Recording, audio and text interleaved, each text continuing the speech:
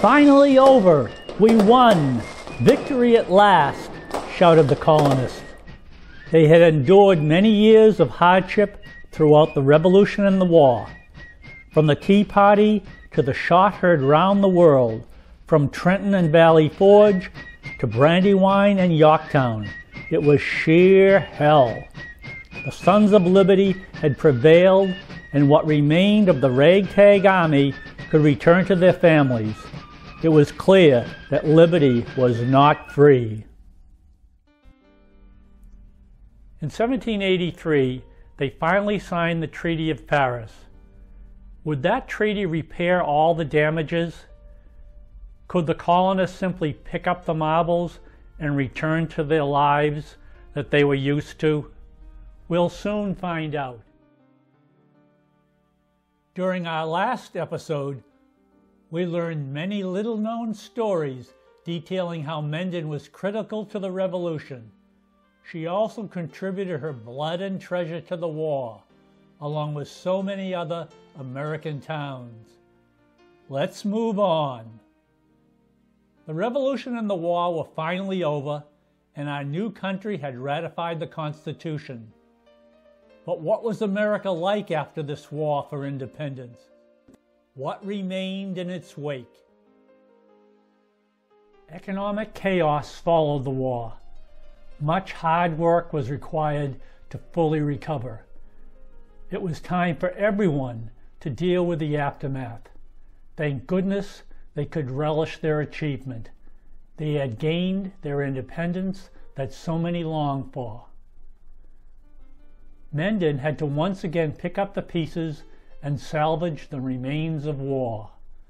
You'll remember that she was totally devastated during the King Philip War of 1675-1676, with the massacre on July 14, 1675, the town later being totally darkened and her people scattered.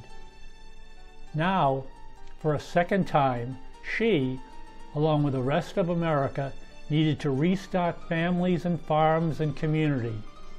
It would be no easy task. Would she succeed?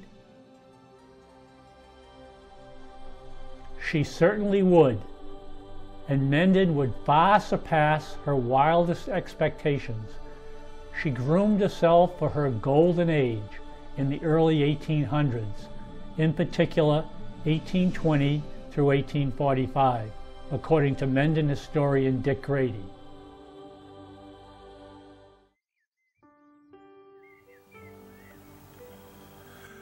Our objective in this episode is to understand what is meant by Mendon's Golden Age. During this period, Mendon was blessed with a combination of qualities that enabled her to flourish. Her neighboring communities had far greater natural resources in their strategic river locations. They had water power to produce energy for their factories. Mendon did not. What Mendon lacked in water power, she more than made up for with her hilltop beauty, clean air, and rich farmland. In addition to these natural resources, it was a certain group of Mendon residents who had a blend of unique business sense, a tireless work ethic, a background of academic privilege, and money.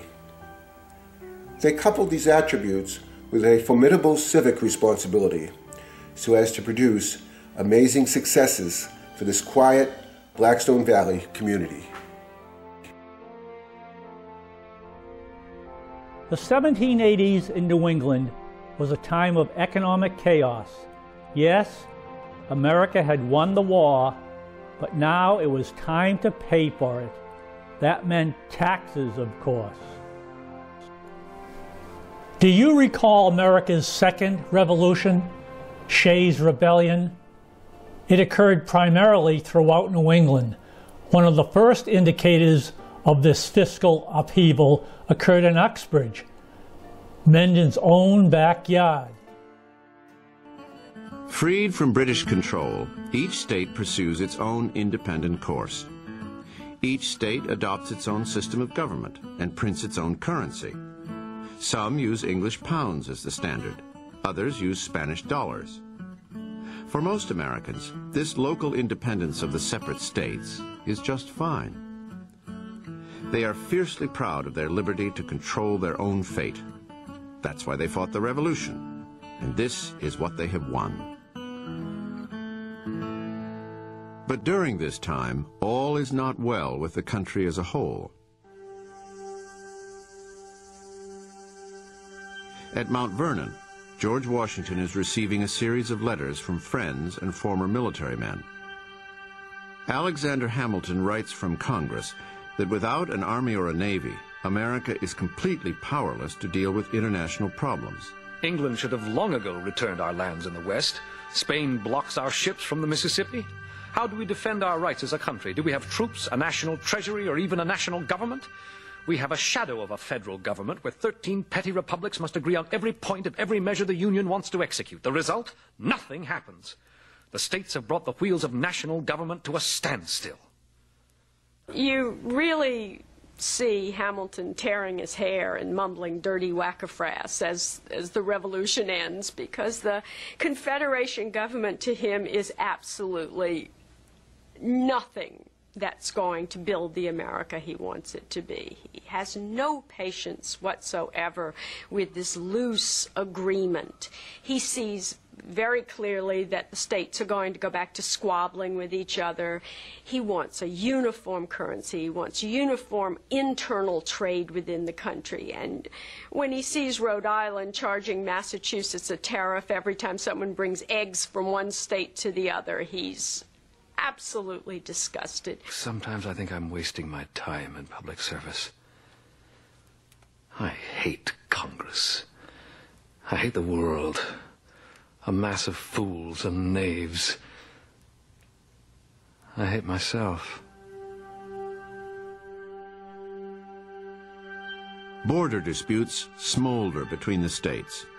Pennsylvania is fighting with Connecticut over which state will control land to the west it is clear that these might become full-fledged shooting wars.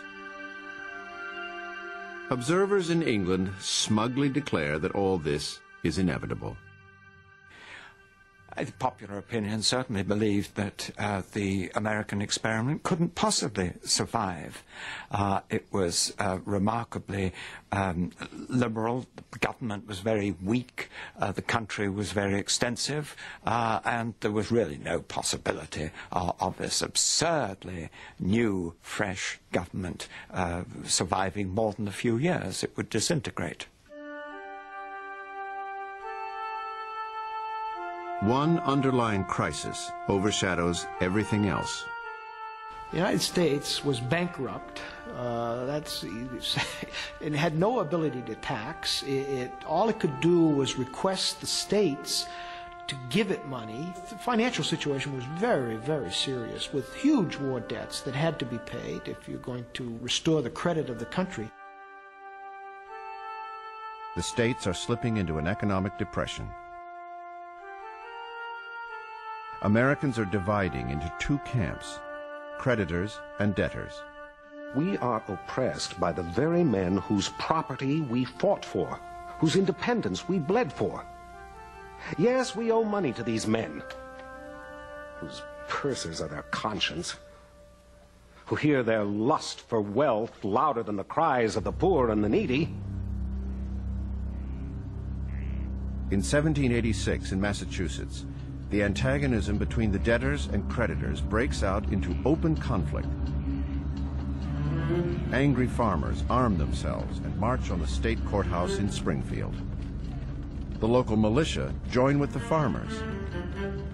Daniel Shays, the leader of the insurgents, becomes a folk hero. Soon, debtor rebellions are breaking out in all 13 states. The debtors are by far the majority the popularly elected legislatures pass laws which, in effect, cancel all debts, trampling on the property rights of the creditors. I was as strong a believer in popular government as any man in America. But it is rapidly becoming the last kind of government I should choose. I'd even prefer a limited monarchy at this time. Better the whims of one man than the ignorance and passions of the mob. Shays' rebellion shakes people's belief in popular government. There is now a rumor circulating through the states that Nathaniel Gorham, president of the Continental Congress, has approached Prince Henry of Prussia. Our free institutions of government have failed, he is quoted as saying. Will you please come to America and be our king? Prince Henry is said to have reminded Gorham that Americans did not get along very well with their last king, and to have curtly declined the offer.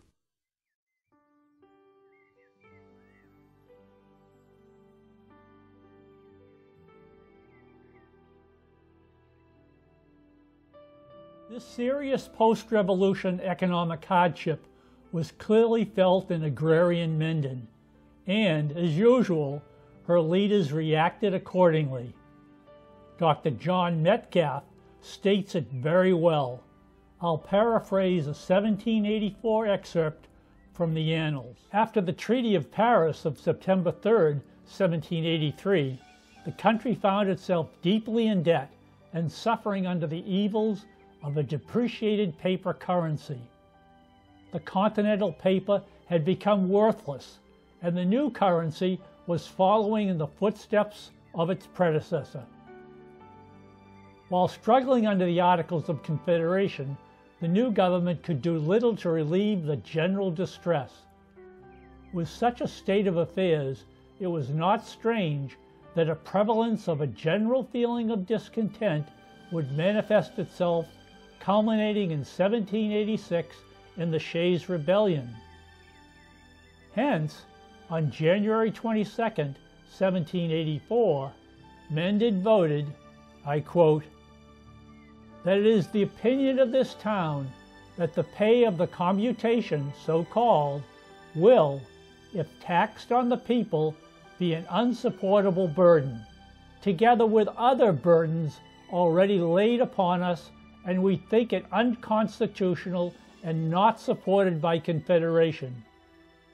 Mendon then continued to document and address these grievances to the General Court. Although noted for the Springfield Armory Battle and killings of 1787, one early protest in the rebellion against the government took place in Mendon's offspring community of Uxbridge on February 3, 1783, when a mob seized property that had been confiscated by a local constable for tax purposes and returned it to its rightful owners. You'll remember that Uxbridge had earlier separated from Mother Mendon and incorporated in 1727, well before the Revolution. The culmination of Shays' rebellion occurred in 1786-1787, just before our Constitution was ratified. This rebellion was based upon economic depression, credit tightening, and harsh taxes levied on we, the people, to pay for excessive debts, mostly from the war.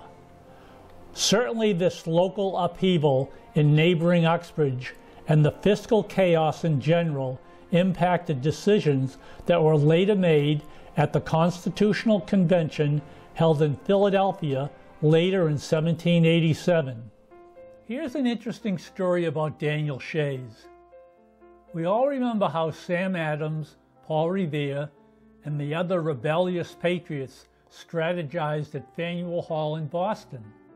We also remember how Joseph Dorr, Edward Rawson, and the rest of the Mendon radicals organized and strategized at the Fourth Meeting House in Mendon. Well, Daniel Shays and his defiant cohorts organized and planned at a place called Conkey's Tavern in central Massachusetts the town of Pelham. You learned that earlier in this episode. Interestingly, Conkey's Tavern is now underwater. No, it's not in serious debt. It's really underwater, seriously. It's at the bottom of the Quabbin Reservoir. Yes, Pelham was situated east of the Connecticut River, and in 1822, the portion of Pelham that housed Conkey's Tavern, along with a portion of the town of New Salem, became a part of Prescott. Prescott was located in the Swift River Valley watershed when the four towns of Prescott, Dana, Enfield, and Greenwich, remember that's pronounced Greenwich, not Greenwich, were chosen to house Metro Boston's primary water source in the mid 1900s. Recapping, I guess you could say that all of this is just water under, or is that over, the bridge? The Quabbin provides drinking water for over 2.2 million people. It preserves 81,000 acres of land and water, the largest tract of open space in southern New England. The Quabbin Reservation is without doubt the most important natural resource in the Commonwealth of Massachusetts. Yet we still know very little about what is under its waters. We look around the Quabbin and we see nothing but beauty. But what you're looking at is really something that was a human tragedy, a human tragedy of enormous proportion. There are towns, villages, schools that had to be destroyed. There were cemeteries where graves had to be opened and the bodies removed. The name was Underwood. Francis Underwood was one of the most famous residents ever to have lived in this valley. He had published a book describing life in Quabbin that was really a history of the town of Enfield.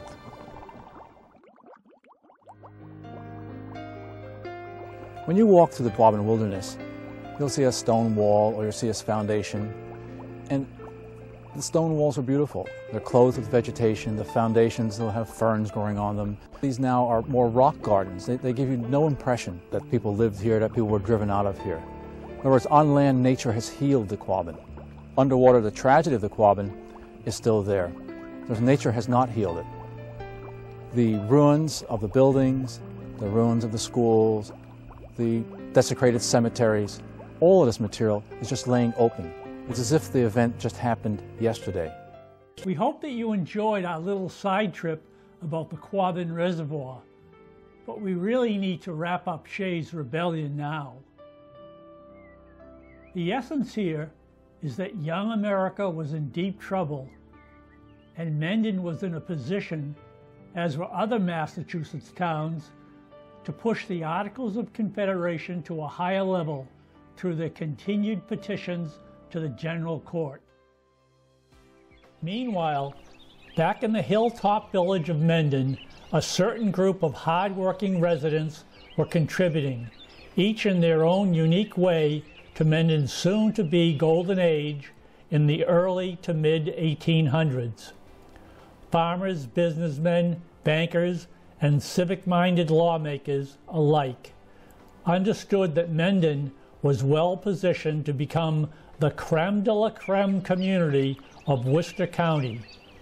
She would rise above her lack of river-based water power that supported the factories of neighboring towns by using her own assets and strategic location in the Blackstone River corridor. The family names of Davenport, Hastings, Amidon, Haywood, Metcalf, Russell, Aldrich, Allen, and George, and others would take Mendon to new heights. Soon we'll learn what her leading families accomplished and how it all came to pass, culminating in the launch of an exciting growth spurt in Mendon. We all remember that the town of Mendon was significantly affected by the industrial age. Some things good, some not so much. As the original town boundaries included an 8 mile by 8 mile parcel, it meant that for some settlers, attending town meetings and religious services were often a challenge. The roads to the outskirt areas were narrow, bumpy, and barely passable. Many citizens settled along remote river locations where they built mills. Over time, the mills developed into factories. Villages grew as they centered around the factories. Beginning in 1719, eight villages sought to become independent towns. In each case, the reasons given to the legislature were the distance of travel to the meeting house and the poor conditions of the roads. The mother town contested the separations, but she was not successful. Those removes left a negative impact on Mendon's population, geography, and tax revenues. However, her children and grandchildren towns prospered by utilizing the water power of the Blackstone, Mumford, West, and Mill Rivers. The new towns had gone through a process of farm to factory. Mother Mendon remained as the food producer for the region and continued an economy based on agriculture. Yes, Mendon would be considered the breadbasket of the Blackstone Valley, central Massachusetts, and even beyond. The brief period of the Blackstone Canal was positive in that it brought Mendon produce throughout the region. Plummer's Landing, for instance, in what is now Northbridge, became a vital distribution drop-off for Mendon farm goods.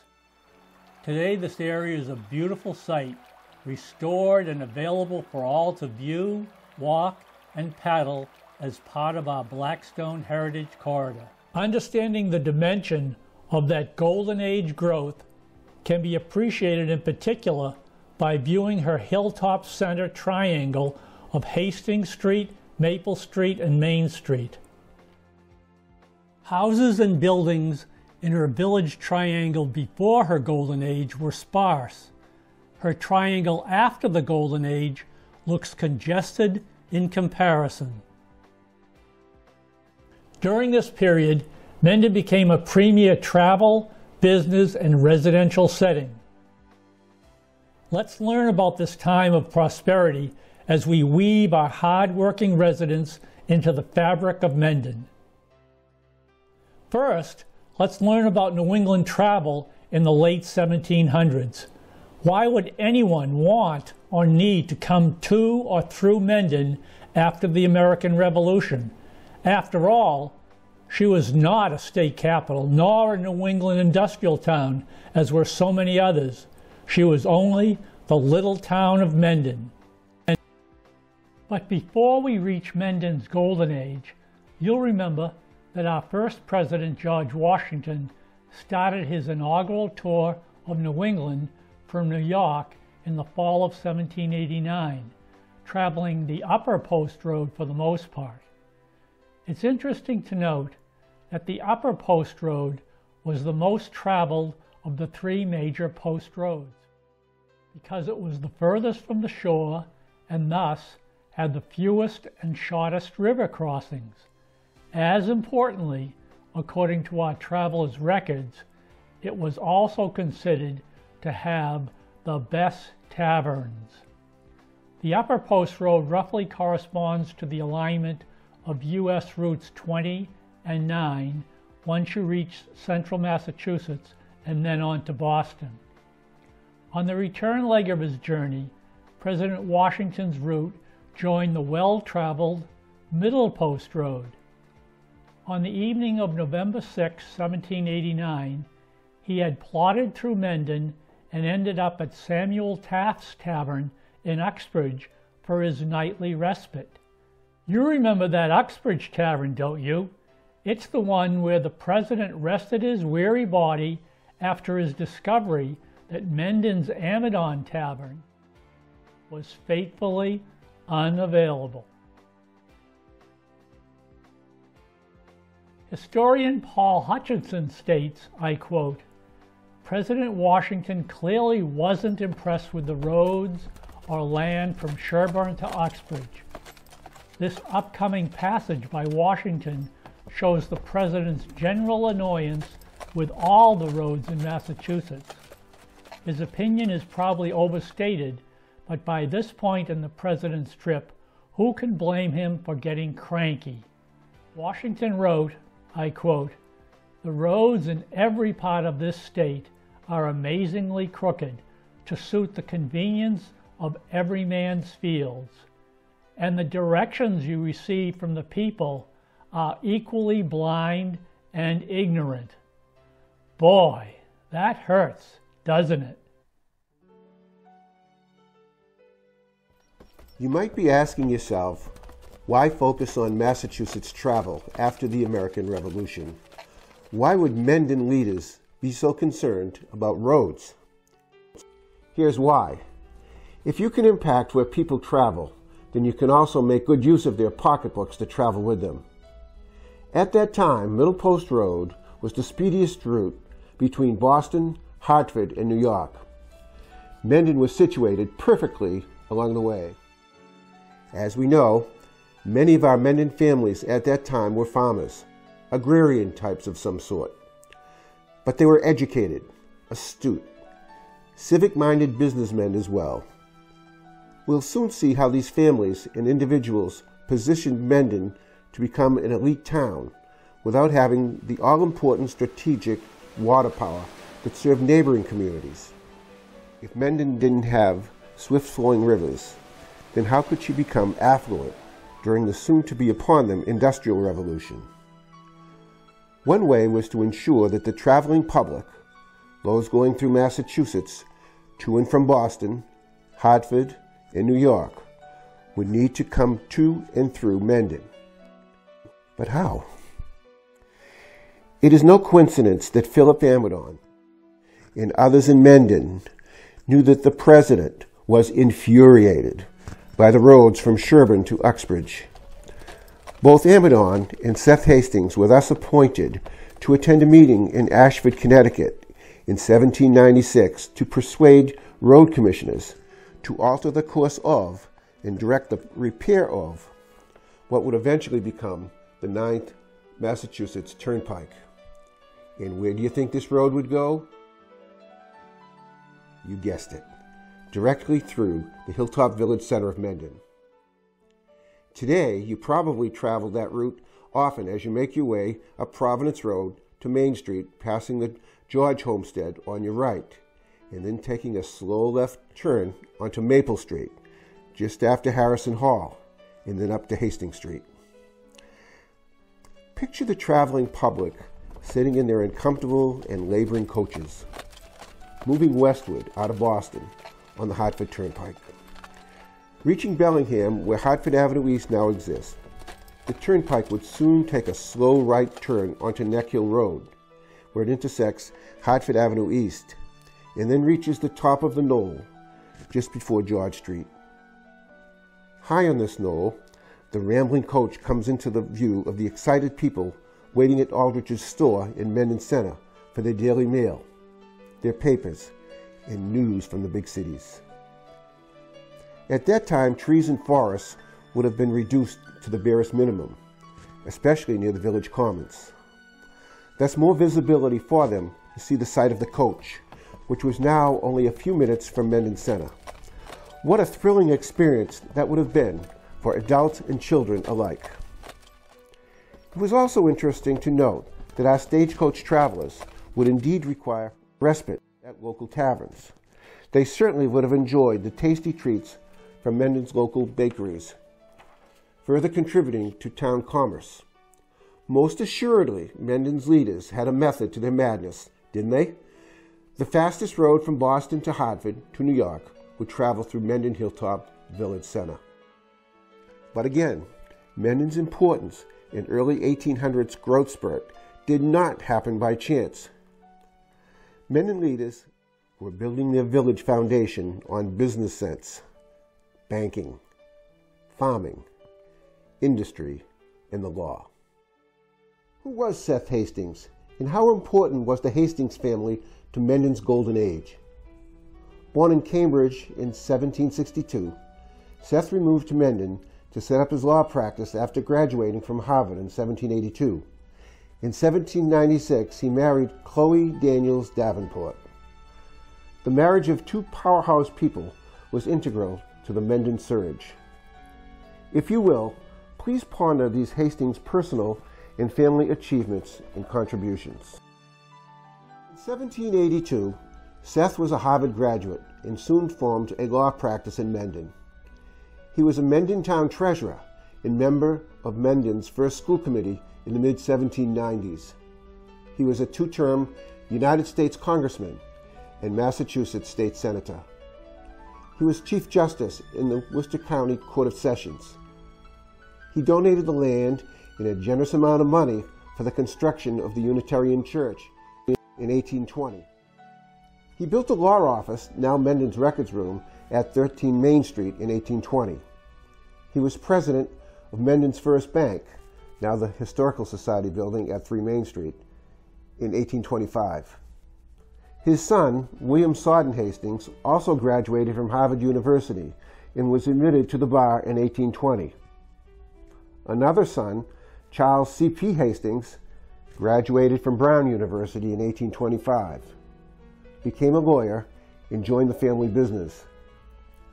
Seth's daughter Mary married attorney Caleb Haywood.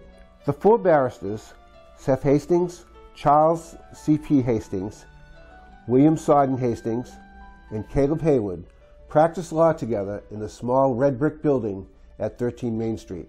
Seth and his family were extraordinary public servants. Mendon Village Center was essentially a family compound for the Hastings Davenport stock in the early 1800s, and today the village is their living tribute. No wonder there is a Hastings Street in Mendon. However, Seth could not achieve all this by himself. He needed a strong partner. He fell in love with and married a fine lady of considerable means, Chloe Daniels Davenport. Chloe lived her early life in an agricultural family. She grew up in a farmhouse at 30 Misco Road. Chloe was born in 1776, the daughter of Seth and Chloe Daniels Davenport, her family having acquired great wealth from their superior farming and business skills. Their farmland extended on both sides of North Avenue, from the Upton Town line to beyond Northbridge Road. In 1793, her parents built a new farmhouse at the corner of North Avenue and Hopedale Street, a fine architectural example of our past that exists to this very day and was recently purchased and attractively renovated by Mr. Kevin Meehan. By the way, did you know that not so very long ago, in the late 1970s, Mendon almost lost Hastings Street? Thank goodness for the process of open town meetings and the influence of concerned citizens. It came to pass that certain roads in town were under consideration for name changes. An open town meeting discussion occurred, and Mendon's Historical Commission member and local historian, Jane Coleman, among others, requested that Hastings Street should be left unchanged. She noted that the road was named after Seth Hastings, the president of the Mendon Bank, now our Historical Society Museum. Those of you who remembered Jane understand how emphatically she might have presented her arguments. Thank you, Jane. As we continue to learn about Mendon's Golden Age leaders, please focus on their civic contributions, not just their immense personal and professional achievements. How did they find the time? I get tired just thinking about their vast accomplishments. In the early 1800s, Mendon became a magnet for talented people. You know how that works, don't you? The first person of accomplishment arrives in Mendon, and others, relatives and similarly high achieving people, soon gravitate towards those self starters. We'll highlight a few interesting facts and stories. Earlier, you learned that Seth Hastings sold his one Emerson Street property to the Honorable Jonathan Russell in 1818. Russell was no slouch in his own right. Russell lived in that well positioned house for 12 years, moving from Milton and eventually returning there, where he died in 1832. Jonathan Russell demonstrated his love for his country by serving as an ambassador of peace before and after the War of 1812. President James Madison appointed him charge d'affaires to France in 1810 and ambassador to England in 1811. He served as ambassador to Sweden and Norway from 1814 to 1818. The focus of his career had been influenced by his patriotism and his will to improve international relations. Two interesting stories about this gifted orator, Jonathan Russell, come to mind. First, Ambassador Russell was earlier in France when he befriended Marquis de Lafayette of Revolutionary War fame.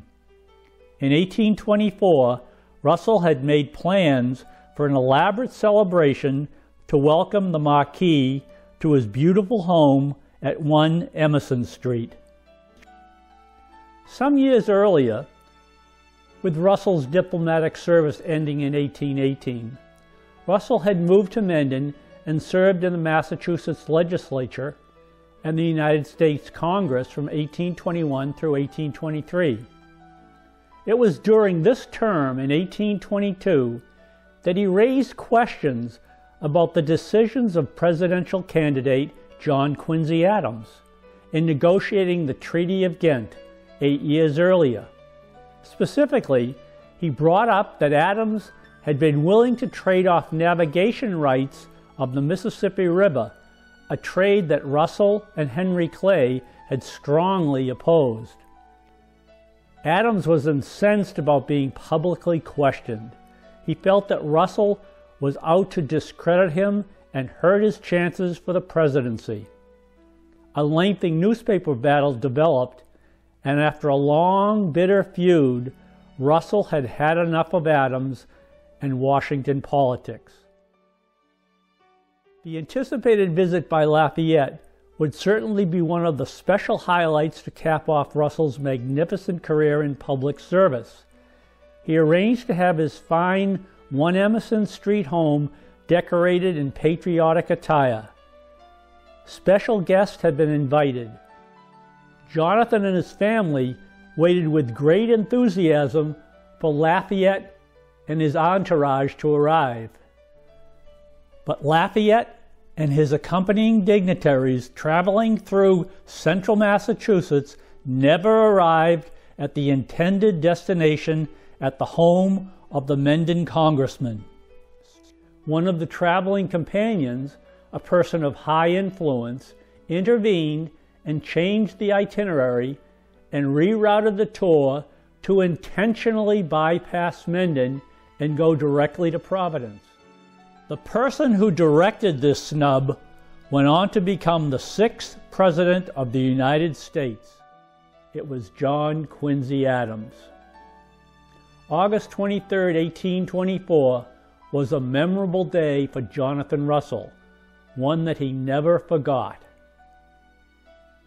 Oh boy, poor Mendon once again.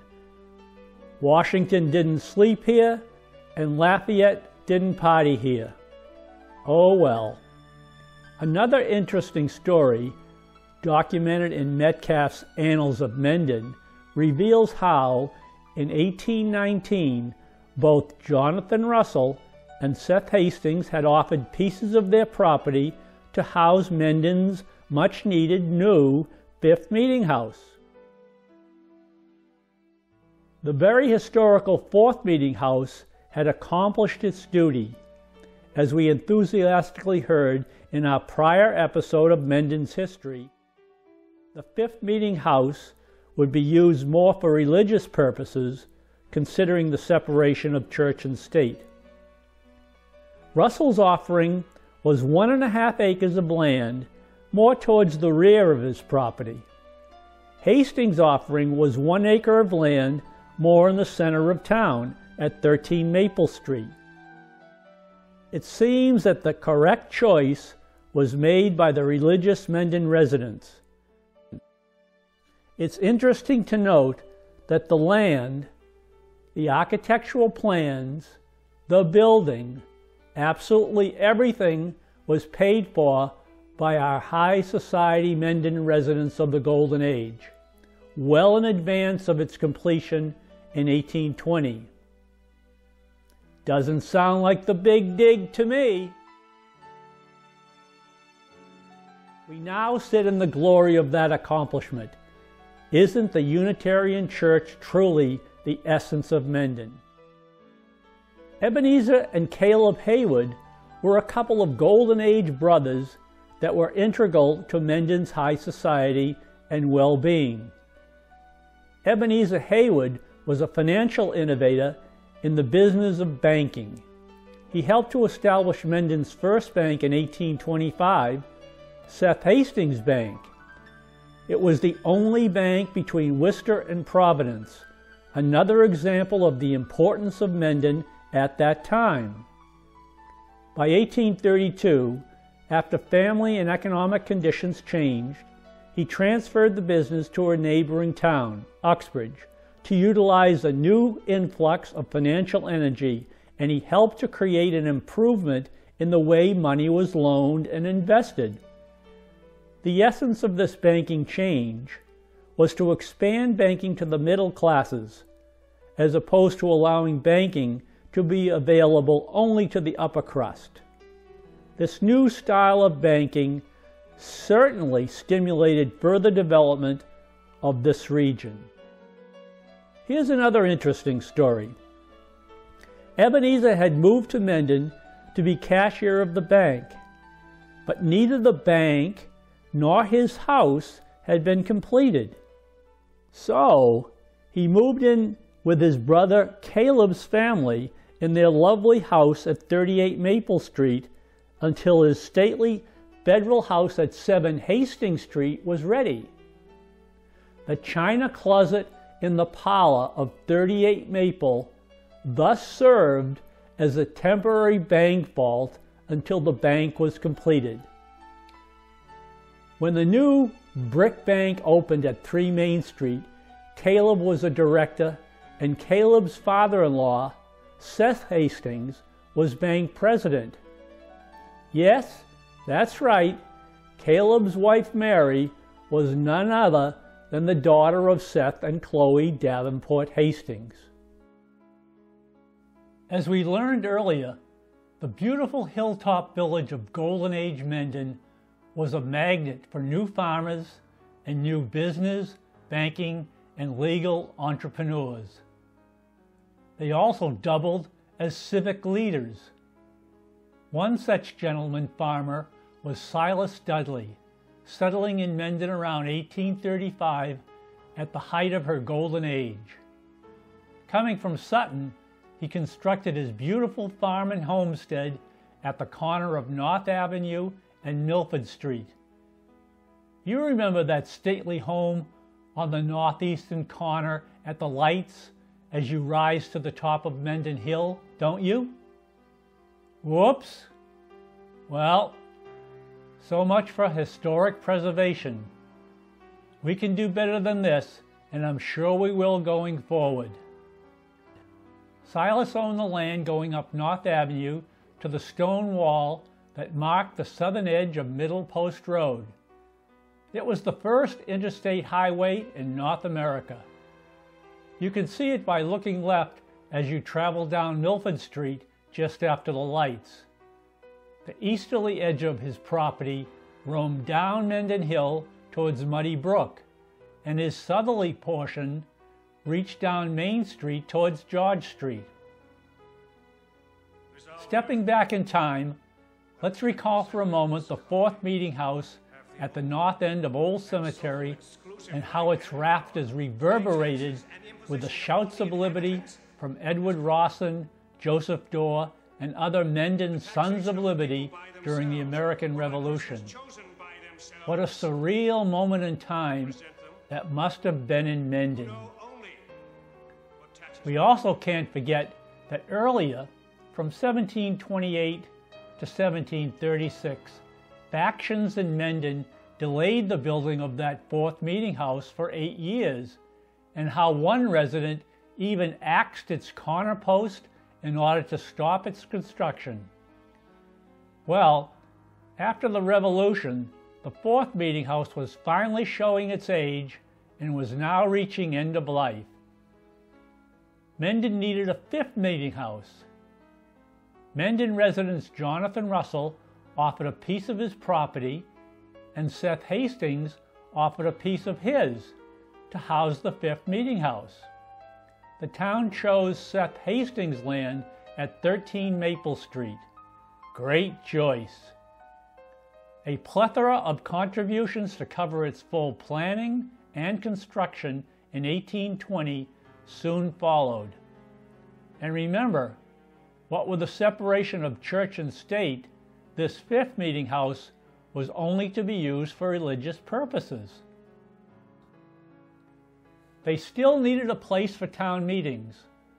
For a short while, town meetings would be held at Amidon Tavern, the Keith Hill Inn, and at houses of various civic leaders.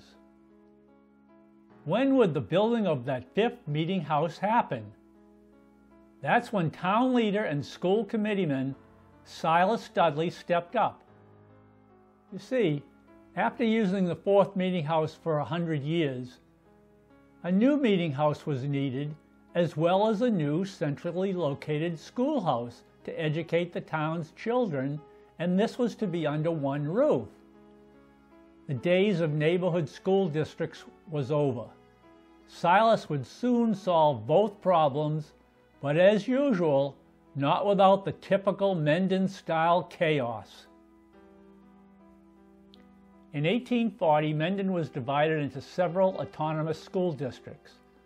Voters in the second district voted unanimously at a January meeting to build a new schoolhouse.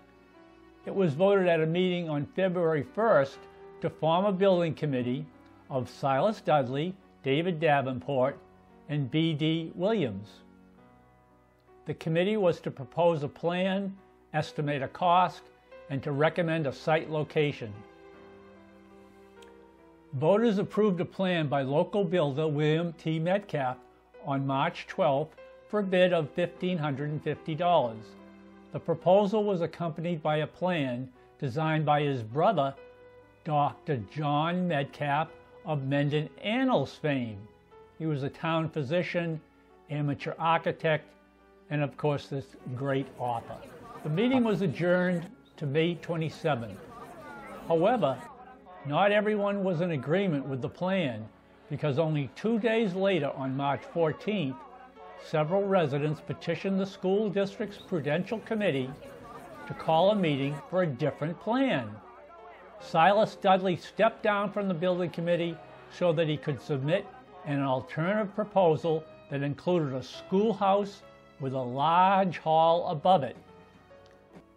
You see, this new plan was a partnership offering where Mr. Dudley would own the hall on the second floor and the land on which it was built. The town would own the school on the first floor. The district would be able to use the hall free of charge for lectures, town meetings or other meetings, and other educational purposes. Mr. Dudley's plan was accepted after he agreed to lower his proposal from $1,700 to $1,550.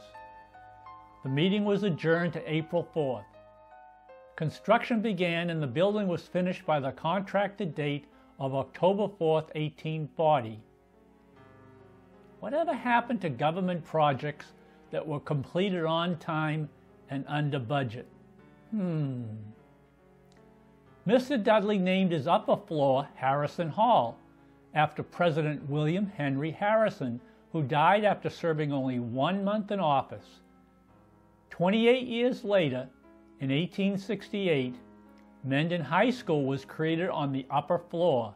It remained there until 1904 when a new school was opened at 10 North Avenue for grades 1 through 12. Supporters of the opposing plans were not pleased with the proceedings.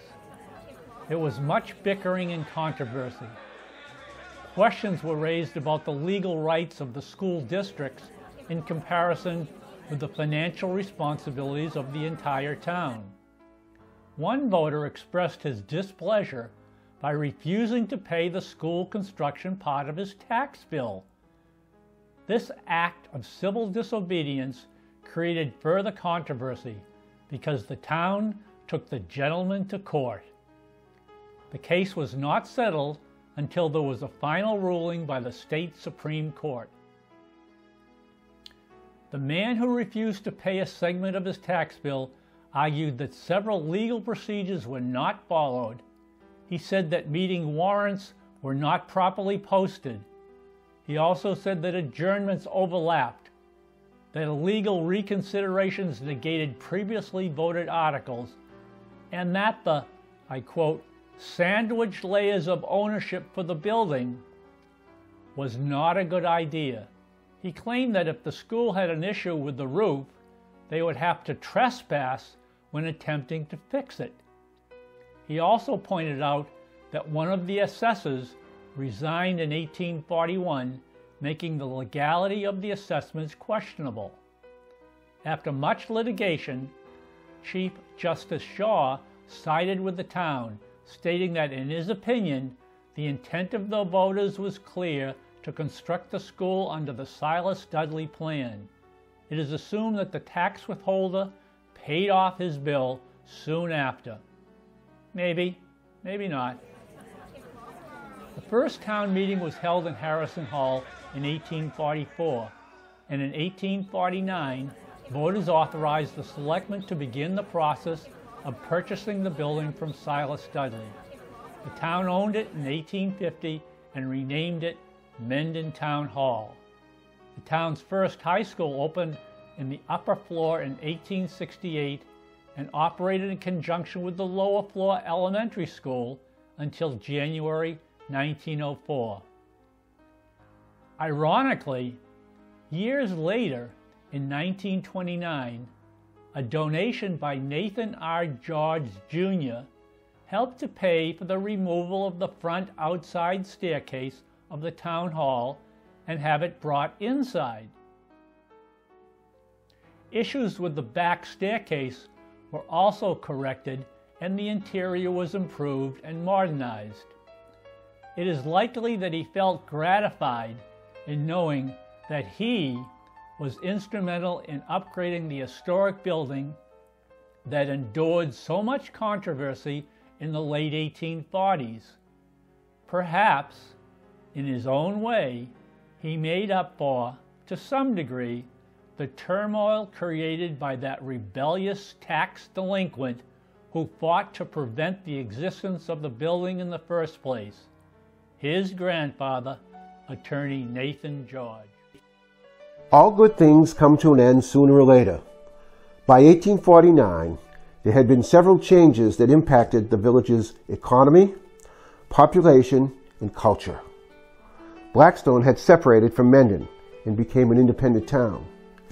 The tax dollars generated from the factories along the Blackstone River no longer went to the Mendon's treasury.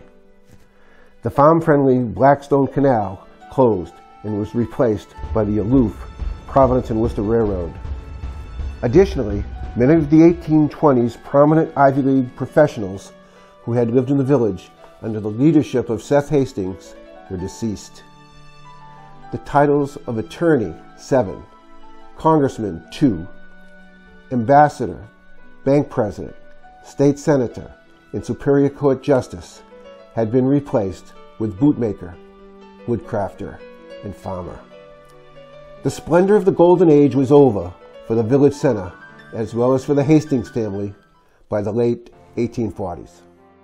Our Golden Age leaders can be summed up with this simple statement For those to whom much has been given, much is expected. Seth Hastings, his family, and fellow Golden Age residents had been blessed with wealth, academic ability, professional sophistication, social rank, and political influence. Though they were well to do, they readily gave service to their state and local government. They also gave generously to their town and church. Many would regard their lives as enviable. They were part of Mendon's nobility. To the Hastings family and their neighbors, much had been given, and from themselves much was expected. Yet throughout their lives, there were lingering episodes of tragedy and sadness. In spite of their stature in the community, they were prevailing reminders that they were mortal. The members of the Hastings family made use of their numerous talents to improve the lives of others. Instead of simply basking in the wealth of a prestigious private law firm and bank, they were guided by service to others. Perhaps their strength in dealing with their sorrow was the source that fueled their uncommon enthusiasm to public service. Mendon Village Center was essentially a family compound for the Hastings Davenport family in the early 1800s. And today, the village is their living tribute. Perhaps Edna St. Vincent Millay's poem, First Fig, might offer a summary of their lives of these highly respected Mendon Golden Age leaders. My candle burns at both ends. It will not last the night. But ah, my foes, and oh, my friends, it gives a lovely light.